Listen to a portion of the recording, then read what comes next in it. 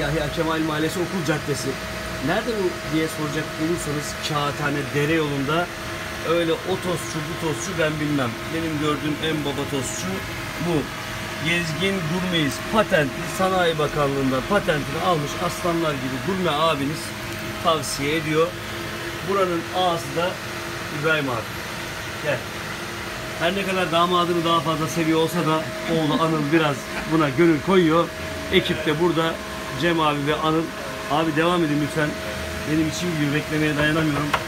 Bu şimdi tost mu olacak abi biraz sonra? Şimdi Vay arkadaş ya. Abi burada bir öküz yatıyor ya. Bu nedir abi ya? Bu kadar bol bulamak nedir abi bu- bunun ilmi? Yerim ben sizi. Yerim. Yerim.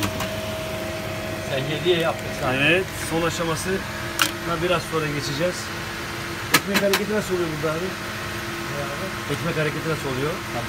Tamam. Oo, ölürüm. Jos. Bunun üzerine isotu gömeceksin İbrahim abi.